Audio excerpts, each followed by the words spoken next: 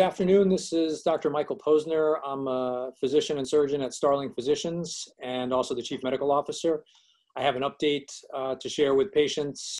As everyone knows, we had limited uh, open hours available and we're only treating certain more urgent or emergency problems during the high point of the pandemic. We have at this point resumed fairly normal operations with some caveats that I'll go into. We are now beginning to see uh, fairly routine visits. Uh, this could include routine physicals or rescheduling things that had to be canceled uh, when, when the pandemic was in its height. We have also started resuming preoperative visits. Our proceduralists and surgeons are now doing procedures again at the local surgery center as well as the hospitals. So if you need care uh, that involves surgeries, you can certainly come back in. We can reschedule you if you had to be canceled, or new patients requiring surgeries are certainly welcome.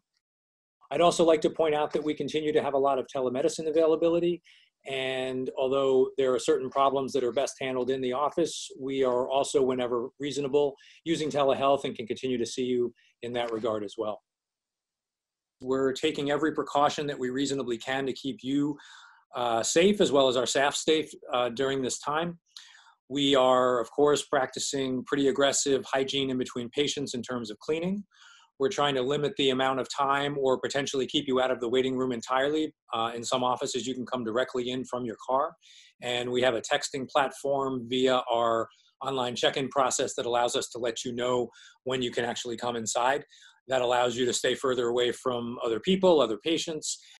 You'll notice that all the staff in the offices are wearing masks and your provider will be wearing masks.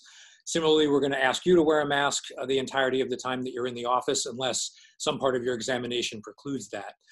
Um, I think it's important to realize that masks are really uh, preventative for both the person wearing it and the, the, other people. So your mask may protect everyone else, uh, including perhaps immunocompromised patients in the office, from you if you happen to have COVID and you don't know it and it'll also protect you as much as possible from other people around you, including patients and the staff in the office.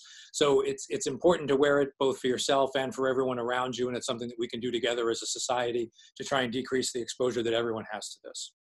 I would make um, a, a plea for people that you do not forget your health while you've been stuck at home with social distancing and the pandemic.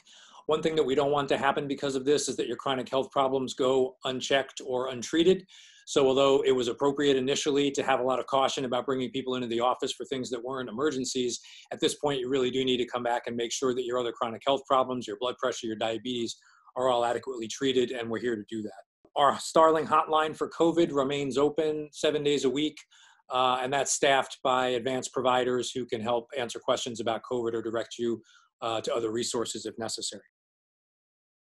We at Starling want you to remain safe. We think that Connecticut did a good job in dampening the initial upswing in the curve of coronavirus in the state.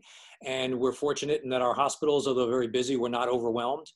I think it's important, especially going into the summer and the outdoor months, for people to realize that they do still have to maintain safe behaviors until vaccines are available, uh, which won't be probably at best until later in the year.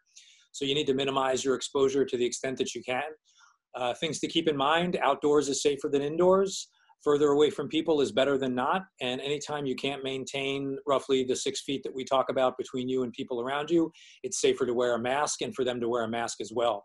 So you can certainly begin to enjoy things more than we were able to over the last two months.